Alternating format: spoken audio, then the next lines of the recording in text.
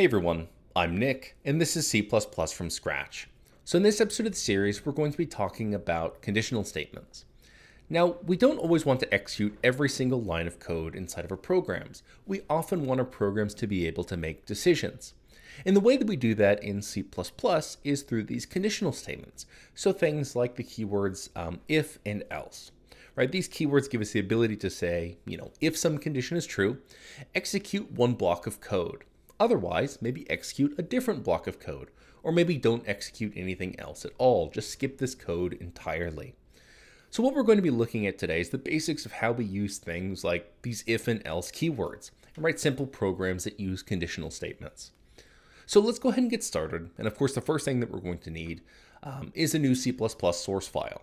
So we'll go ahead and create a new file that we'll call, you know, maybe condition.cpp.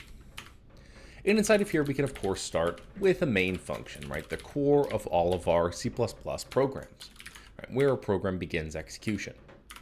Now let's say that you know what we want to do here is create a couple of variables, compare their values, and maybe print out if one variable is bigger than another. So, you know, for example, we can create a couple of integers here. So we can create an integer a and set it equal to 5, and create some integer b and set it equal to 10. Now, let's say we want to print out if a is less than b. So let's go ahead and include IOStream at the top of our file here. So we'll do include IOStream so we can use stdcout to do our printing. Cout standing for character output again. And let's go ahead and get into our conditional statement here, right? So what is the condition that we want to check? We want to check to see if A is less than B. So the way that we would do that is we would say if, right, using that if keyword, and then we would use parens, right? Inside of these parentheses, we're going to put the condition that we want to check. So if A is less than B, just using the less than operator here to compare A and B, so this will either return true or false, and then we'll put some curly brackets. And that cur those curly brackets will be for the block of code that we're going to execute if this condition is true. So all our if statement is really saying is saying if some condition is true, execute this block of code here. Right? If the condition is false, we just skip this block of code entirely. So in this case, we would just go to this return zero down here. Okay, so let's go ahead and fill in this block of code. So we'll just put a print in here. So we'll put something like std C out and we'll print a is less than b. Right, that'll be um, our string that we print if this condition is true, which should print in this case because we have a is 5 and b is 10. So let's go ahead and save this and we'll go ahead and compile our program so we can run it. So we'll go ahead and use G++ on our condition.cpp file and we'll create an output executable, you know, maybe just called condition. So we'll go ahead and save this. Um, and you can see we generated this executable here and we can go ahead and run this. And of course we see our print. We see A is less than B. Okay.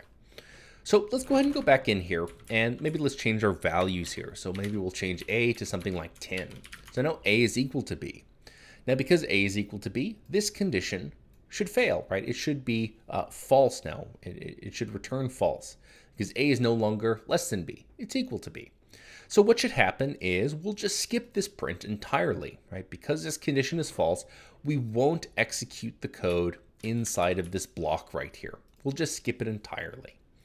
So we'll go ahead and save this and we can go ahead and uh, recompile our program. This condition.cpp, generate a new executable.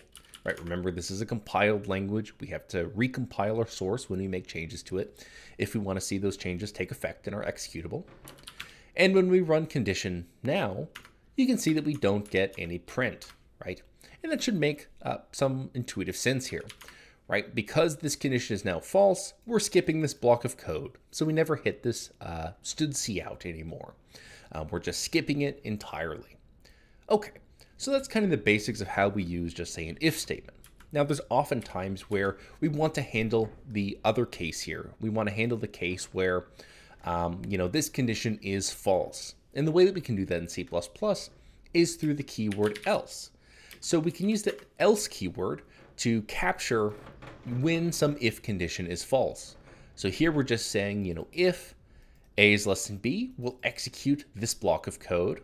Otherwise, or else, we'll execute a different block of code.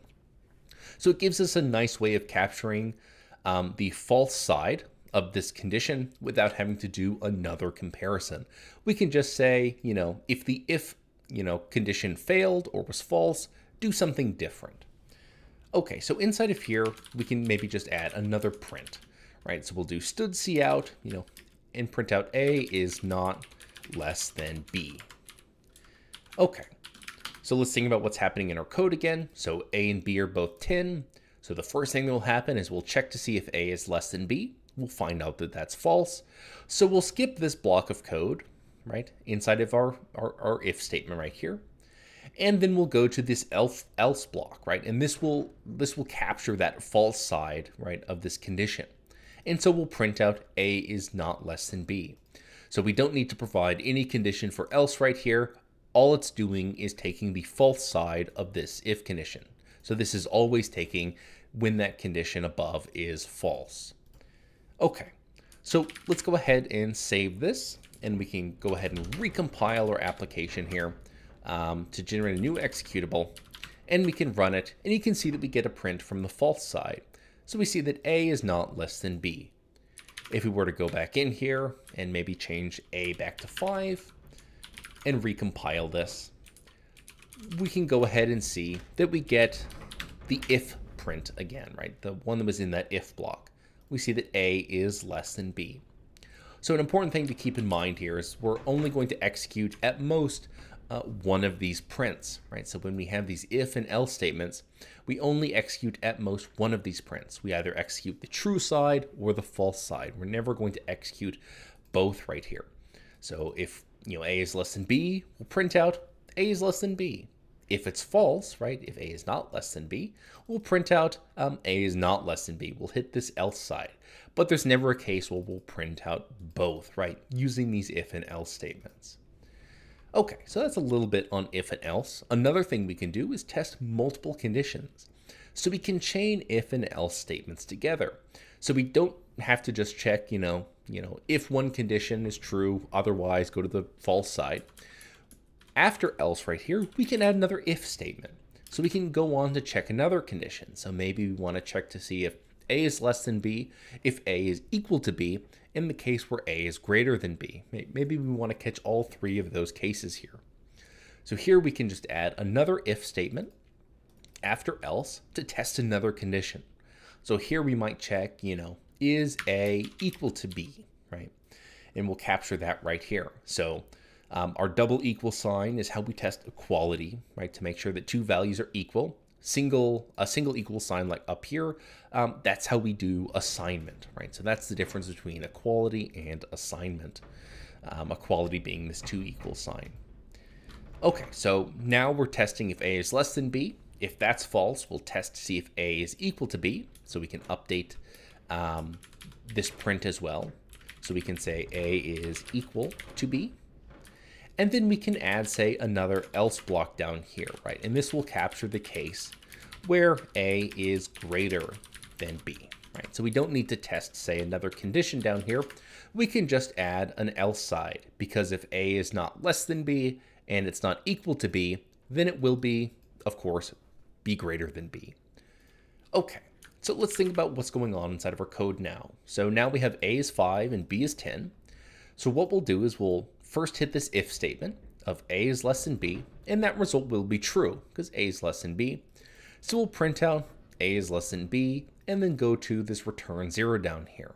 So just like if we had a single if-else statement, we're only going to execute one of these blocks inside of this chain. So we'll go ahead and save this, we'll recompile, and you can see that we get that first print when we run our executable. A is less than B. If we go ahead and make A and B equal to each other, so we'll go ahead and make this uh, A and B both 10, we can go ahead and recompile this and run it, and we see we get A is equal to B. So now we get that middle condition here. So, you know, we first checked if A is less than B. That was false. So we went down to check our next condition which was a is equal to b, and that was true.